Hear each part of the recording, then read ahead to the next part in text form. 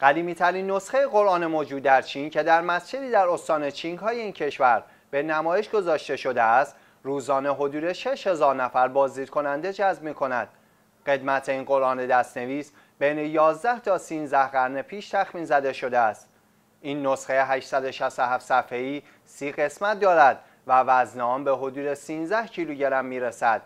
این قرآن در سال 2007 میلادی به وسیله کارشناسان و هنرمندان ترمیم شد و از آن زمان در محفظه شیشه‌ای که رطوبت، دما و میزان اکسیژن موجود در آن کنترل شده است نگهداری می شود.